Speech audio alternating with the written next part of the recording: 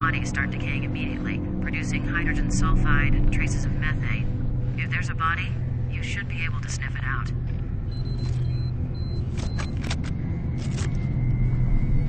The air sample contains usual city pollutants and high concentrations of mold spores, and here we go.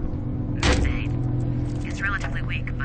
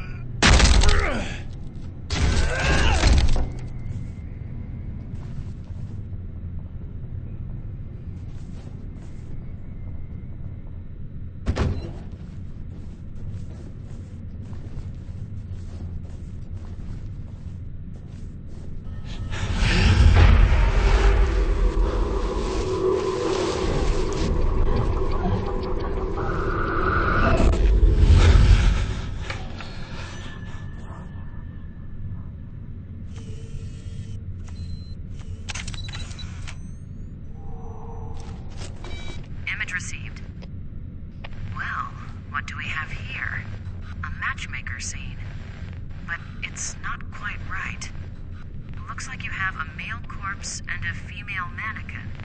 Exactly the opposite of normal. Well, not normal. Thomas, photograph the victim's face.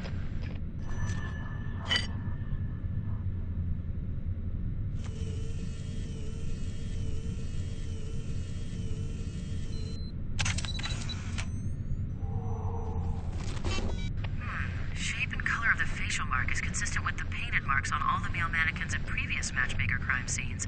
But this is strange. Thomas, get a shot of his right hand, will you?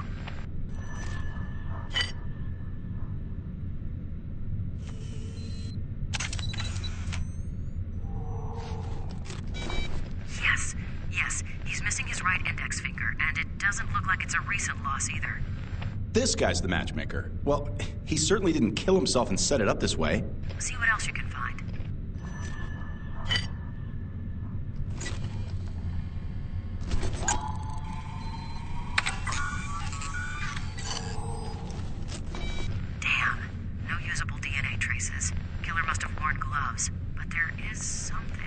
What is it?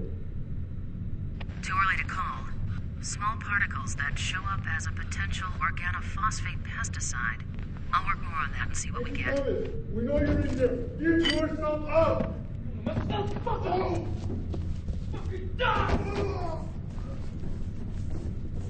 Dawson, I could use some help here.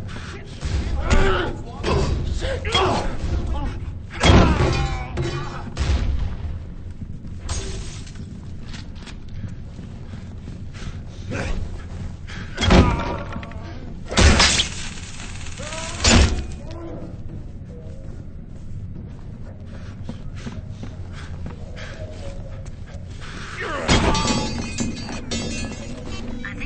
something, Thomas. The newspaper clippings you found in the room at the metro station, each of the articles talks about a serial killer.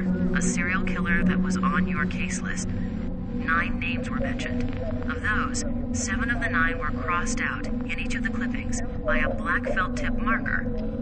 The only names that weren't crossed out were the matchmaker and the torturer. Of the names that were crossed out, all those cases have gone cold. And now you can cross off the matchmaker. Wait, are you implying that there's someone stalking serial killers?